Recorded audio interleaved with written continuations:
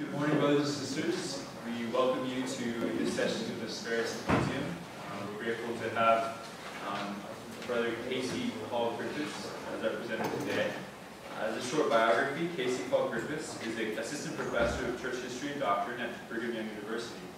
He has pre previously taught in the seminaries and institutes of the Church of Jesus Christ and served as a curriculum writer for the Institutes of Religion. His publications have appeared in the Journal of Mormon Studies, Mormon His Historical Studies, BYU Studies, Religious Educator, and several other scholarly venues. He lives in Saratoga Springs with his lovely wife, Elizabeth, and their three adorable children. Let's turn the time over to.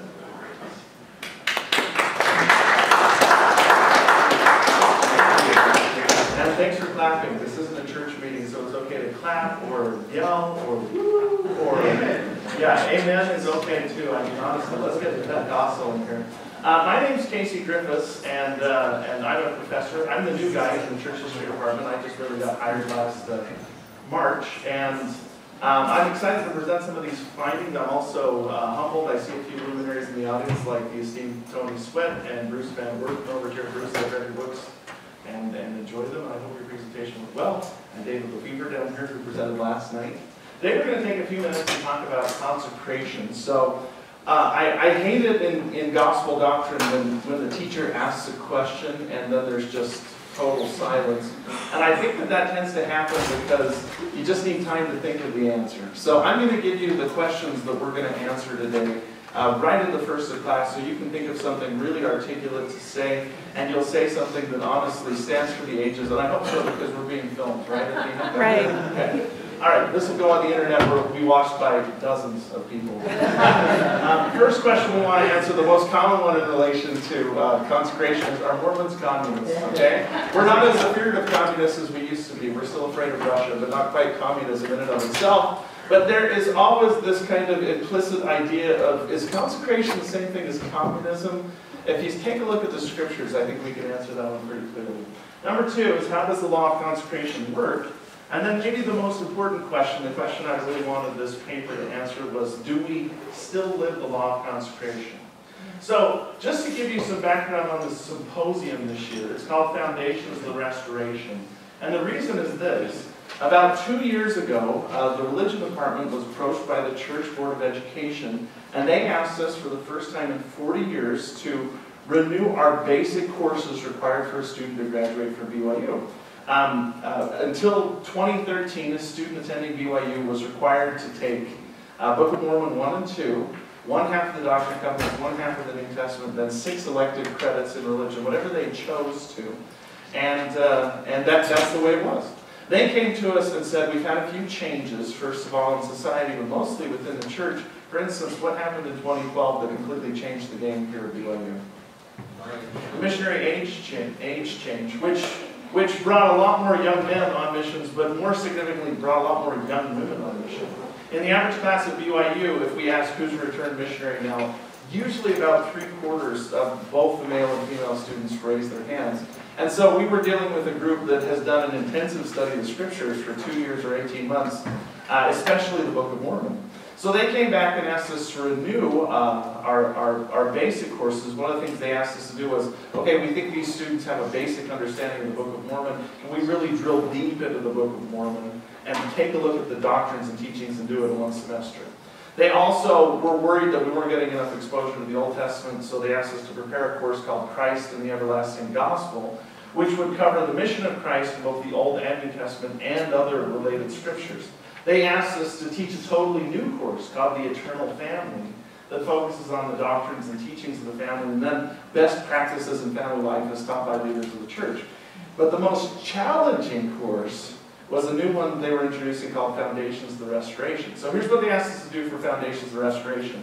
Teach the entire Doctrine and Covenants, which we had been doing in halves, one half, a second half, so four hours to cover the entire Doctrine and Covenants, and teach all of the vital issues in church history, which we had been doing in two courses, two hours long. So they basically asked us to take eight hours and condense it down to two, and get through the entire Doctrine and Covenants and all of church history in one semester. Can you do this? And we said, Sure. I mean, Moses part of the Red Sea, right? So this is this is comparatively easy. So one of the things that we had to do was go back and look first of all at what are the fundamental things a person has to know about the history of the church and the doctrine and covenants. There's ways to approach that, like what's the most controversial issue that we need to deal with? Or what does the Doctrine and Covenants talk the most about? And there's no doubt that if we're looking at the total sum of church history, consecration is a big deal. In fact, one of the things I do at the first of my class every single time we meet is put up this timeline that outlines six periods of church history.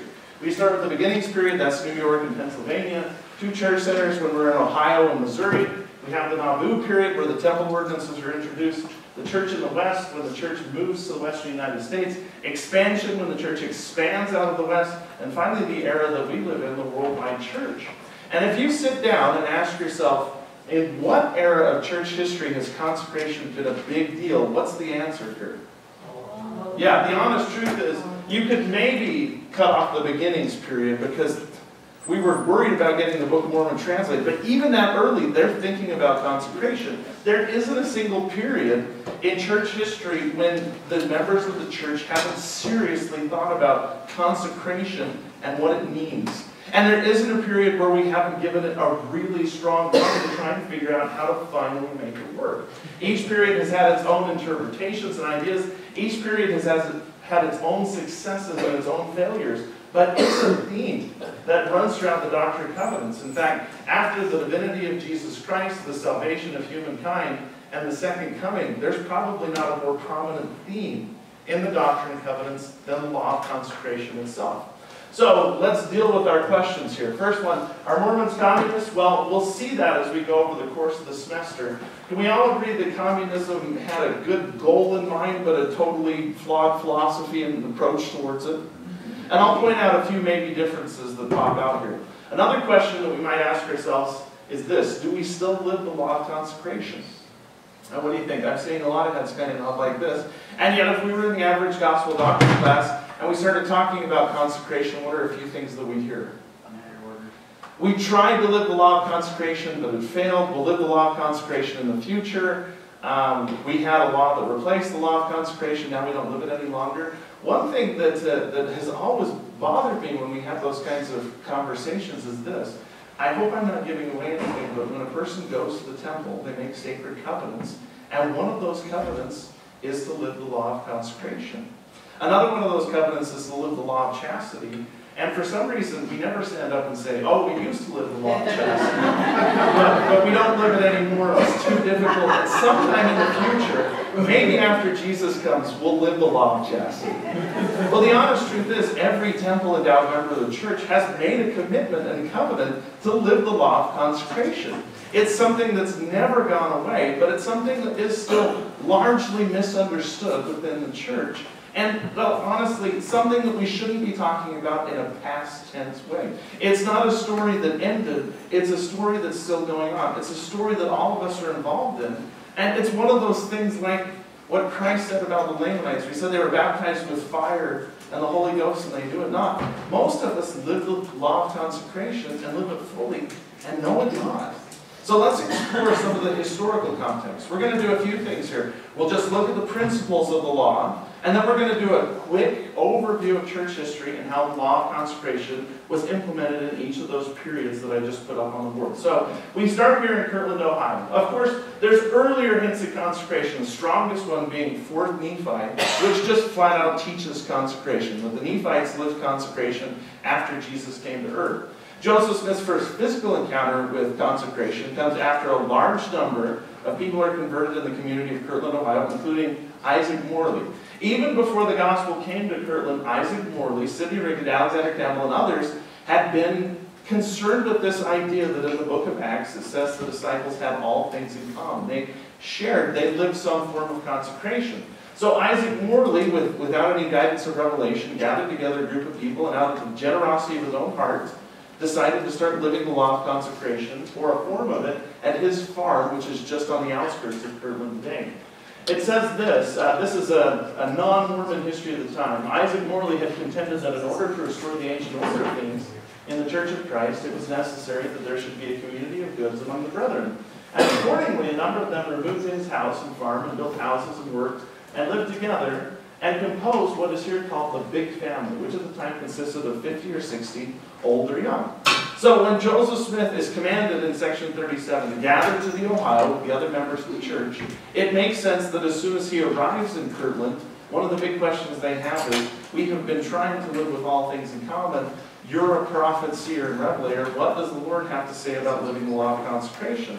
And in short order after the prophet arrives in Kirtland, we receive the law of the church, which is today known as section 42. Now the modern text of section 42 introduces the law of consecration in about 12 verses, very simply. There's add-ons throughout the entire Doctrine and Covenants where the Lord answers questions or clarifies, but the essence is maybe found in this verse. It says this, And behold, thou wilt remember the poor, and consecrate of thy properties for their support, that which thou hast to impart unto them, with a covenant and a deed which cannot be broken. So that's the essence of consecration. We all sacrifice so that everybody can be elevated a little bit and lifted up. And then the Lord explains in sequence exactly how consecration is supposed to work in Kirtland. In fact, I borrowed this set of slides from, from a, a Seminary and Institute's uh, website. This is how we would teach consecration uh, using section 42. So this is pretty simple and straightforward, but then I want to talk about a few things that um, that maybe are incorrect here. And I'm not criticizing the person that made this. I know the person that made this PowerPoint, okay? And he's a great guy, but we have philosophical disagreements. We have never come to fisticuffs, but we might someday. All right, so first thing that happens, you consecrate all to the church for the poor. You give everything that you have to the church. You go and meet with your bishop. That's another thing about consecration is it wasn't just out of the goodness of your own heart. It was organized. There was supposed to be a bishop that supervised it, okay? Step two, is that you receive a stewardship sufficient for your needs. So already we've got a divergence between consecration and communism. Was there any private property under communism the way it was supposed to work? No, and under consecration was there. So we tend to have this idea that the law of consecration meant basically we shared everything. You could walk over to your neighbor's house and just hop in his car and drive off without asking permission. Did it ever work that way? No, when I was a freshman at BYU, my roommates and I decided to live the law of consecration, and it lasted about as long as it lasted in Kirtland, which was, well, it, it, it, broke down because I came home and my roommate was eating my ramen, and I was like, you didn't ask me to eat my ramen. He was like, isn't this Zion? Don't I have a right? And then I came home and my roommate and six of his friends were eating my ramen, and I sat down and said, this is not consecration. And I started to study my scriptures really intensely for the first time. Found out what happened was is the bishop would come back to you and say, you consecrated all of your goods, here's a stewardship. And that stewardship was considered your private property. A person couldn't just come into your house or take your car, theoretically speaking, or ride off on your donkey because you owned it under the law of consecration. You just committed all that you had to the church, but the stewardship was owned by you. Like, Step number three is that you would give, oh, yeah, please. Was it negotiated at all? Was there any dialogue? It was, it was, in fact, give me just a second and I'll get to that and how this worked in practicality, okay? Next thing was you gave the surplus back to the bishop. So you might go to the bishop and say, look, we're taking care of, here's some surplus, and the bishop would take that, and then use it to take care of the other people. From the surplus, you could also have your wants sufficiently supplied. So it wasn't just a subsistence type existence. Once you had given your surplus back and decided exactly what you need, the bishop could sit down with you and say, well, what do you want at this particular time? Then, from what was left over from that, the residue was kept in a bishop's storehouse for the poor and the needy. The church was financed, and its needs are met helping to establish Zion. And finally, uh, we are living the law of consecration, right? Now, the big problem is this because we don't live this exact system, we have sometimes said we don't live the law of consecration. In fact, this system breaks down in section 54 of the Doctrine and Covenants when a man named Leman Copley starts to struggle with consecration, withdraws from the church, and kind of leaves a bunch of church members who committed the consecration in the lurch. It might be more correct if we labeled this how consecration works. Let me back up here. How consecration worked in 1831. Because the honest truth is, while the principles and doctrines of the church are enduring, do we always practice things exactly the same way as we did in other eras of church history? But for consecration, for some reason we have this idea fixed in mind that if we're not doing it exactly the way they were instructed to do it in 1831, we're not actually living the law of consecration. We don't do sacrament meeting or missionary work or practically anything in the church the way we did it in 1831. Maybe President Packer captured the essence of this when he said this. Changes in organization or procedures are a testimony that revelation is ongoing. The doctrines will remain fixed eternal. The organization's programs and procedures will be altered by him whose church this is. So, an eternal doctrine might be something like uh, the human body is divine, or Christ's atonement saves us from sin and death. But give me an example of a program of the church that has changed and probably will change as time goes on. Uh, the family history department has changed, right? We don't do family history the same way we did in 1831 because we didn't do it in 1831 to begin with. And there's no computers that would be crazy if we never changed our methodology. Go ahead, back. Missionary. Uh, we do missionary work differently, right? We don't ask the missionaries to travel without purse or scrip anymore. In the early restoration, that was common. There's a place uh, uh, in, an, in, an, early missionary journal where they met a guy, the guy committed to the gospel, so they dammed up the creek and they baptized him, and they went on their way rejoicing. Now, if we were walking down the hill from this meeting today, and a guy came up to us by the Botany Pond and said, I want to be baptized, would we say, fine, here's much water, and then baptize him, and just move on with our day? We realized that there needed to be procedures and accountability, and so we adjusted how things work. That just makes sense. The doctrines are eternal, but the programs change all the time, okay? We haven't met in uh, three-hour blocks only since 1980 or so, for example. Uh, the primary, the relief site, did you know that they used to pass the sacrament in primary? They wouldn't let primary kids come to sacrament meeting. They passed the sacrament of their own primary meeting, which I'm not sure we should have changed that. so let's take a look at the principles of consecration laid out in section 42 and then a few other places, okay? Now, first of all, a few things that you should know. Conservatively speaking, at least 24 revelations of the Doctrine and Covenants have to deal directly with consecration and different methods of implementing it. So even in the Doctrine and Covenants, you can see the Lord coming back and saying, okay, the principles are the same, but I want you to try this here. The principles are the same, but I want you to try this here. The principles are saying to try this here. Okay? And by the way, this is conservative. These are sections that talk directly about consecration. There's all kinds of things that are dealing with ancillary uh, events that deal with consecration. The earliest mention of an organized form of caring is actually before uh, D&C 42, where in D&C 38 the Lord commanded them to look after the poor and needy and minister to the relief that they shall not suffer. And up there are the primary sections that deal with financial matters and the law of consecration. But let's just break this down to a few primary ideas and look at how they were implemented, and then ask yourself while we're looking at each one of these, how would we handle something like this today? So for instance, let's tackle the idea of consecration in and of itself, and then we'll look at stewardship, needs and wants, and the storehouse, all right? The original revelation that was given in 1831 says directly this, Thou shalt consecrate all thy properties which thou hast unto me in a covenant indeed which cannot shall be broken, they shall be laid before the Lord of my church. When the Book of Commandments is published in 1833, this is the first version of the Doctrine and Covenant, the same thing. Thou shalt consecrate all thy properties which thou hast unto me with, with the covenant deed which cannot be broken. Interestingly enough, when the Doctrine and Covenants was published in 1835, there was a subtle change here. And see if you can notice it. The 1835 Doctrine and Covenants, which is produced under Joseph Smith's supervision, says this. Behold, thou wilt remember the poor and consecrate of thy properties for their support that which thou hast to impart to them. Did you catch the difference there? Yeah, there's a big difference between all thy properties and of thy properties to begin with. So we've always had in mind this idea that you go in and you give everything that you have to the church. The prophet, to clarify, because I'm guessing this came up a lot in the years between 1831 and 1835, decided, no, no, no. The essence of what the word's trying to say there was that you consecrate of your properties, not all your properties. Now, I don't think there's anybody in here that would feel comfortable saying they've consecrated all, but is there anybody in here that would feel comfortable saying they consecrated of? I had to spend 15 bucks for the word Halloween party last night in order to get popcorn. I remember thinking while I was at Macey's, I'm consecrating of my goods. so that the children may eat popcorn and be filled and nourished and strengthened by this popcorn.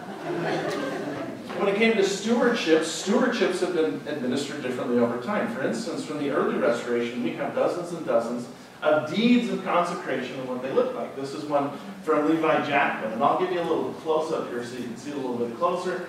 He lists off what he has. He commits to Edward Partridge, the church, offers to bind himself signs before, and then says, We have set our hands and seals to this in the year of our Lord, 1830, in the presence of. Levi Jackman and other deeds of consecration basically lay out exactly what's there, and what a person's giving up, Um, This is a deed of stewardship that's given back. This was given to Joseph Knight Sr. So you met with the bishop, you told him what you had, he gave you a deed of stewardship, and all this was committed. My favorite deed of consecration that I've been able to find is this one. It's from, from uh, um, O.M. Allen. Said this, a list of property belonging to O.M. Allen, one improvement on the island, five head hog, four cows, one improvement on a lot that belonged to the church, one box of axes, one chainsaw, some plans for other little things, two bedsteads, three bed lights, but furnished, one rifle gun, one debt. Uh, some little debts, uh, in debt to Missouri, twenty-five dollars, a wife and four children poorly clad. All at your disposal for the building up. Okay? That's the way it would work. And Wilford Woodruff and others talked about this idea that you freely consecrated. So another big difference between consecration and communism is, was this a forced system where you forced enter into this? It was considered a privilege to enter into it. For, for instance, Wilford Woodruff said this, Be it known that I, Wilford Woodruff, do freely covenant with my God, that I freely consecrate and dedicate myself together with all my properties and effects unto the Lord for the purpose of assisting in building up his kingdom, even Zion on the earth, that I may keep his law and lay all things before the bishop of his church, that I may be a lawful heir to the kingdom of God, even the celestial kingdom. So this idea that you consecrated and a bishop was involved was, was, it was something that was there in the early restoration. Okay? And this is a difference. Another thing that popped up was the idea of needs and wants. So another revelation that was given later on to Edward Partridge, who's appointed as the first bishop of the church, the person uh, assigned to look over consecration, says this. Let my servant Edward Partridge and those whom he has chosen and whom I will please appoint unto his people their portions, every man equal according to his family, according to his circumstances and his wants and needs. Another big difference would be the idea here is that was it just a one size fits all, we're going to give you this and that's what everybody gets and there's nothing can do about it. This denotes that it's a negotiation. That the person sat down with the bishop and said, well, my family has these kinds of needs and my family has these kinds of okay? A family that might have some special needs might receive a different portion and there was no attempt at equality. It was given according to a person's wants and needs. Another eternal principle was that there was supposed to be a storehouse or a, a place where the surplus was stored in order to help them. For instance, the Lord says this, again in section 51, Let the bishop appoint a storehouse unto his church, and let all things both in money and meat, which are more than is needful for the wants of his people, be kept in the hands of the bishop. And this idea of a storehouse, I think we're all comfortable with, right? There's a bishop storehouse in Lindon, we've all seen Welfare Square. Uh, the Newel K. Whitney store acted as the church storehouse at the time, also church headquarters and BYU and the church office building. This was a really important building in the church. President Monson even commented on this recently when he expanded the idea of a storehouse to not just include goods, but the storehouse was a metaphysical concept. For instance, here's something President Monson said. The Lord's storehouse includes the time, talent, skills, compassion, consecrated material, and financial means of faithful church members. These resources are available to the bishop in assisting those in need. Our bishops have the responsibility to learn how to properly use these resources. So, is the storehouse just monetary? No, the, the talents and gifts of the church are the storehouse as well. Please. Do you think, because in the story of Joseph of Egypt, there's this famine that goes on, and he makes kind of a storehouse thing all the grain. You think the Lord's trying to teach the same lesson here? I think so. I think um, we sometimes talk about things like food storage, like they're modern, uh, modern innovations. And, honestly, food storage was probably started and, and began to be emphasized in the latter half of the 20th century. But you can see here all the principles, right? Where the Lord's basically saying, hey, set some, set some things aside in case something bad happens. Be prepared for rainy day. Let's take our surplus and be willing to share throughout our community what our goods are so that we can all be taken care of. And you can see that present throughout the church, right? I mean, as soon as somebody has a baby in your work, what happens?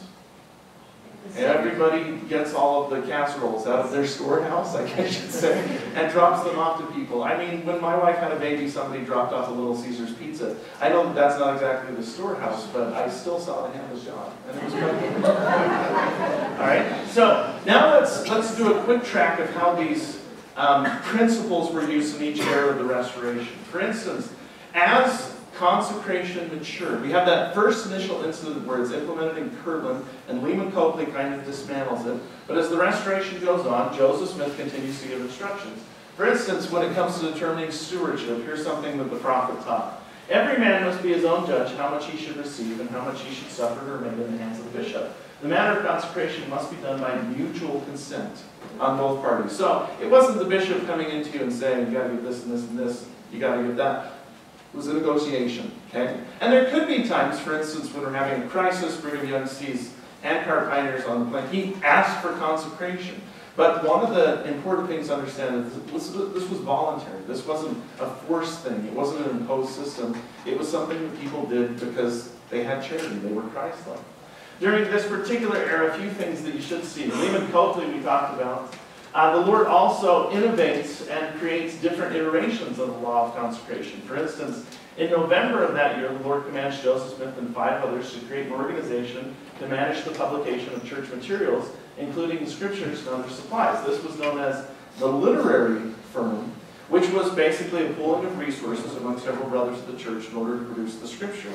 The literary firm later on combines other aspects of church governance and church business and becomes known as the United Firm, and then later on is referred to as the United Order, which becomes the nickname for the law of consecration in Brigham Young's day, effectively.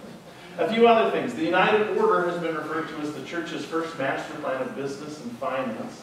The United Firm continued to play a key role in the financial affairs of the church until 1834, when it was divided into two separate orders, one in Ohio and the other in Missouri, partially because of the persecution faced by church members in Missouri, but also because of the transgressions and covetousness of the saints. But everybody is sacrificing, everybody's giving of their goods in order to do things like construct the Kirtland Temple and assist Zion's camp in trying to go and provide relief to the poor and needy in Missouri and make sure that everybody's taken care of. Now let's address one thing. If you have your scriptures, turn to section 119 of the Doctrine and Covenants. And a common thing that's taught, and, and I'll explain why this is commonly taught. There's, there's a reason for this, is that the law of tithing replaced the law of consecration. After Joseph Smith moves to Missouri in 1838, he, at Far West Missouri, receives a revelation that's known as Section 119. And Section 119 says this, I require all their surplus property to be put into the hands of the bishop of my church for the building of my house and for the laying of the foundation of, for the priesthood and for the debts of the presence of my church. This shall be the beginning of the tithing of my people. After that, those who have been tithed shall pay one-tenth of their interest annually, and this shall be a standing law with them forever. So tithing is given as a law and as a standing law forever, but did you see anywhere in there where they cancel consecration? He actually mentions that the surplus has to be given. The surplus has to do with consecration. Tithing was a law that came after consecration was fulfilled. Throughout the history of the church, we have implemented tithing and it's become the standard financial law of the church, but on top of the law of consecration, which was considered the higher and more sacred of the two covenants. Does that make sense? So there's no place where consecration's canceled, and tithing it also isn't intended to replace consecration. It's given in addition in order to stabilize and regulate the church. During this same time, the idea of a stewardship had become almost um, oppressive to the bishops of the church. So Joseph Smith received some instructions that were different. For instance, Brigham Young recalls, before I started, I asked Brother Joseph, who shall be the judge and what is surplus property? So how are we determining surplus and stewardship? Joseph Smith said, let them judge for themselves. I care not if they do not give a single dime, so far as I'm concerned, I do not want anything that they have. In other words, Joseph Smith says at this point, we're going to allow the people to determine their own stewardships. Now, you can see some obvious problems for this. For instance, this is vintage Brigham Young, by the way, and don't be offended by the language here, okay?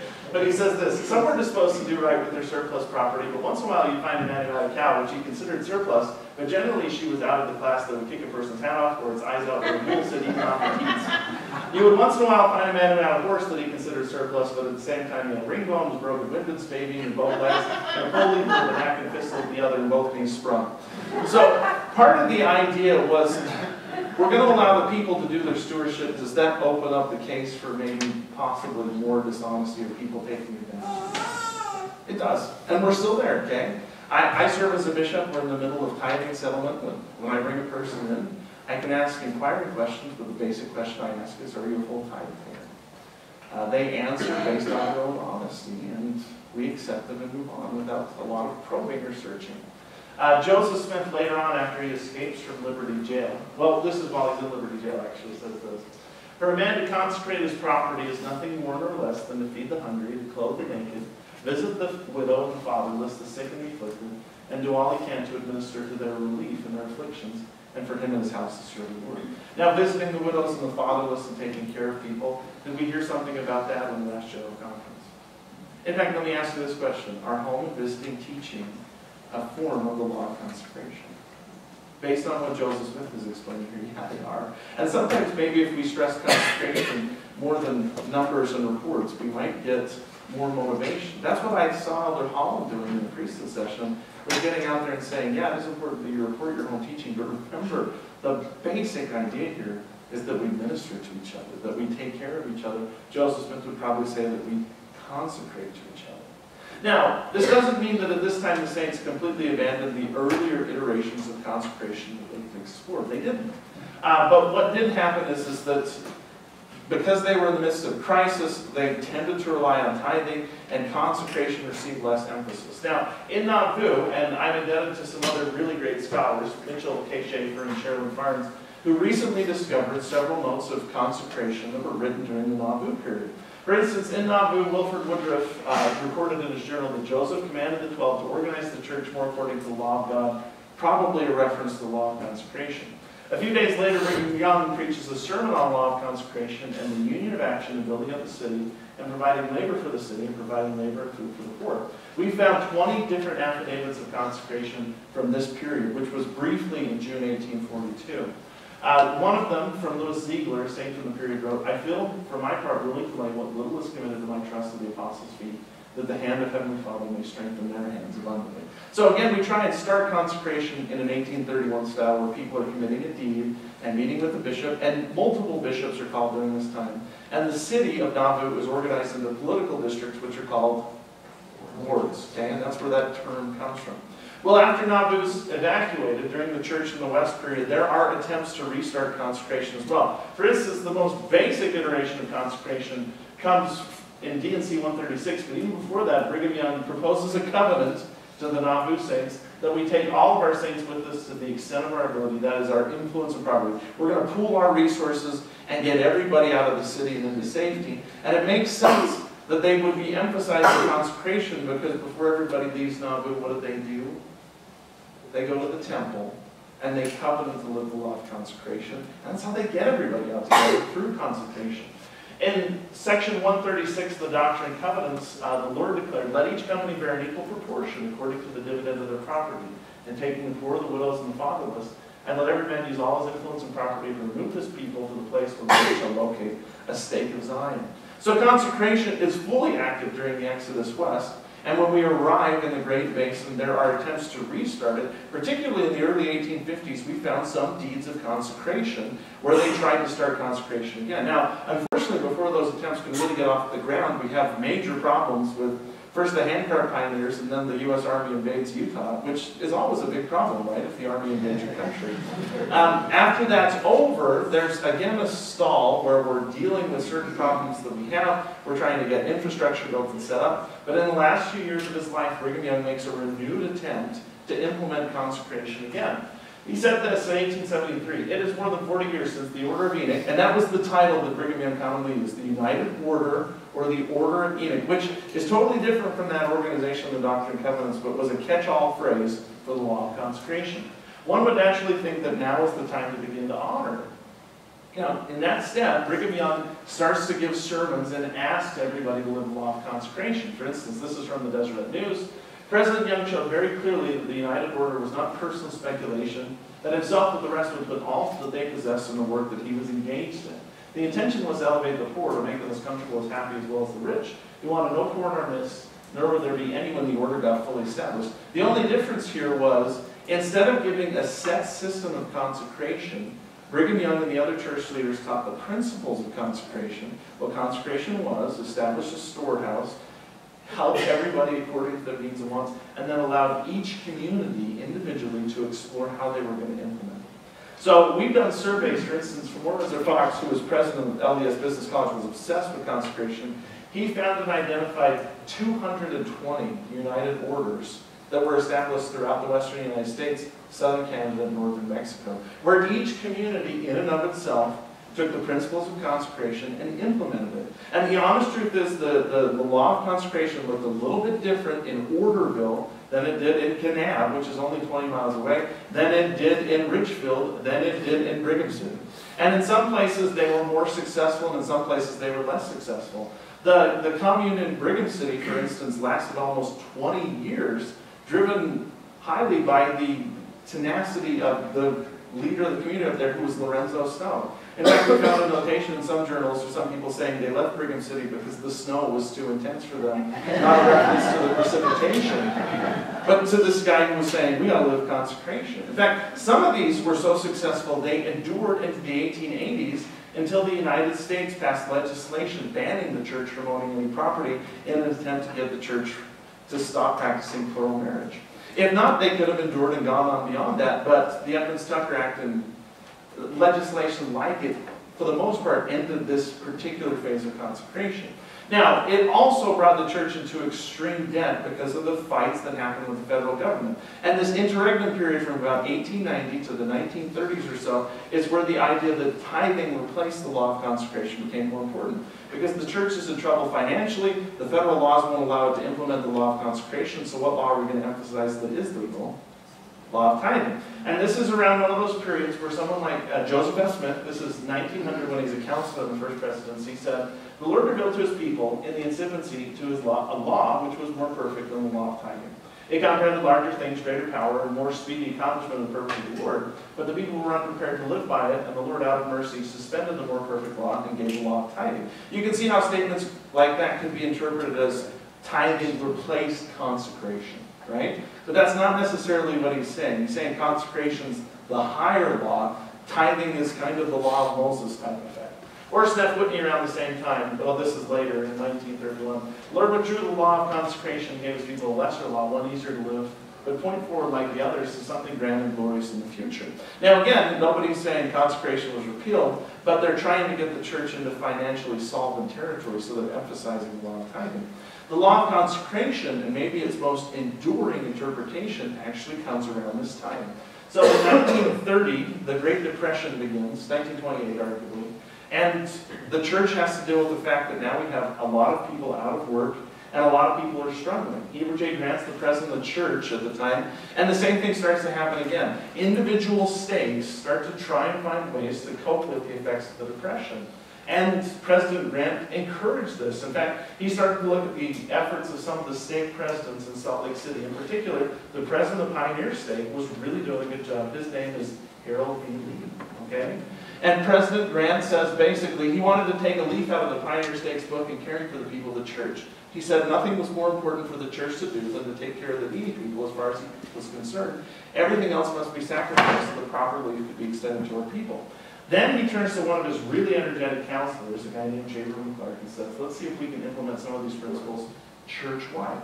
And in 1935, we have the launch of what's called the Church Securities Program, later called the Church Welfare Program. In fact, this was such a huge part of this particular era in church history. There's a whole session of General Conference that's just involving welfare work and what we're doing to try and take care of the poor.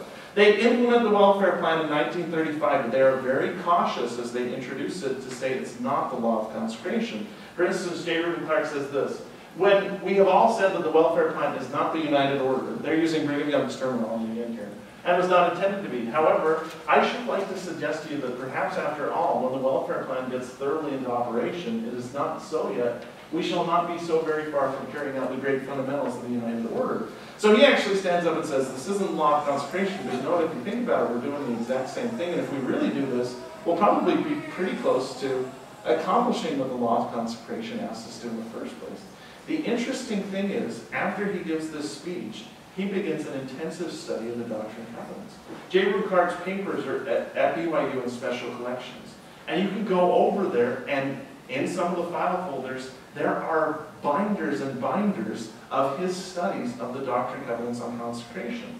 In fact, in 1943, he presents his findings to the First Presidency of the Twelve. These are some of those documents. If you want to take a look at these, I'll show them to you afterwards. Where he basically goes through what we have gone through today and lays out the principles of consecration. One of the biggest things that he teaches them is the law of consecration says you should consecrate of, not all of your property. Aren't we doing that already?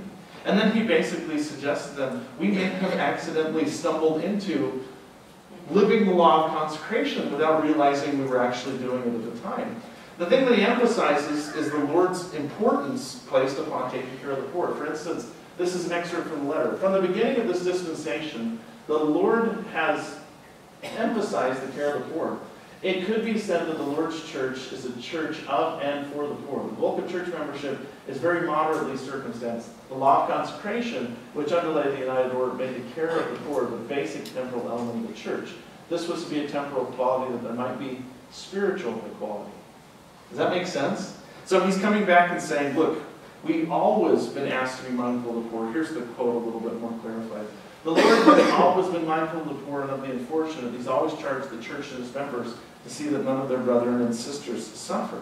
Now, as the welfare system goes on and continues to expand and becomes more important, other prophets address this idea of is church welfare the same thing as the law of consecration? For instance, this is one of J. Reuben Clark's proteges, uh, Marion G. Romney. He said this um, Through these practices, we could, as individuals, if we were minded to, implement in our own lives the basic principles of the United Order, which he's basically saying that.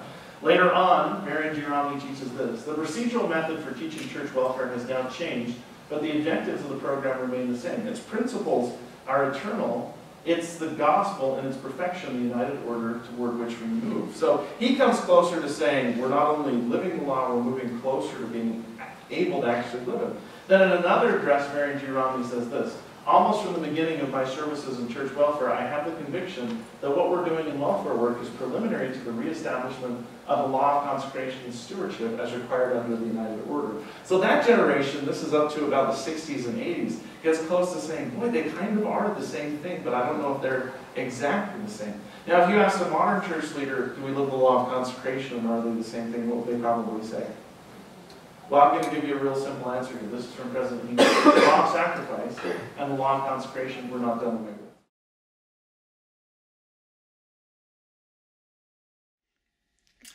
Hi, Sperry Symposium viewers. Um, there's probably a slide that already explained this, but when we had about two minutes left to go in the presentation, a fire alarm went off and we had to evacuate the building. So, just to wrap things up, we we did sort of leave the presentation hanging on one question, which is, do we still live the law of consecration? Uh, in answer to that, a few prophetic quotes here. This is from President Gordon B. Hinckley. Uh, he taught during his presidency the law of sacrifice and the law of consecration were not done away with and are still in effect. Likewise, uh, in more recent years, President Henry B. Eyring in General Conference emphasized the idea that we might not live the law of consecration exactly the same way they did in the 1830s or the 1870s or even the 1930s, but the principles have remained intact and have never gone away in the church. He said this The Lord has invited his children to consecrate their time, their means, and themselves to join with him in serving others. His way of helping has at times been called living the law of consecration. In another period, his way was called the United Order. In our time, it is called the Church Welfare Program. He goes on to say the names and the details of the operation are changed to fit the needs and conditions of people, but always the Lord's way to help those in temporal need requires people who, out of love, have consecrated themselves and what they have to God and to His work. And that's maybe the final thought that I leave you about with consecration is that it's time for us as a church to stop talking about consecration as a past tense event. It's really never gone away. It's been one of the enduring threads of the restoration. It's taken on different forms and is expressed in different methods, but that goes along with the changes we experience in our society and the fact that we believe the church wasn't just led by prophets back then, but is led by prophets today. So I bear you my testimony that consecration is an eternal principle, one that every saint is expected to live, and one that we need to find expression for throughout our lives in the way and manner in which we live the gospel. And I say that in the name of Jesus Christ. Amen.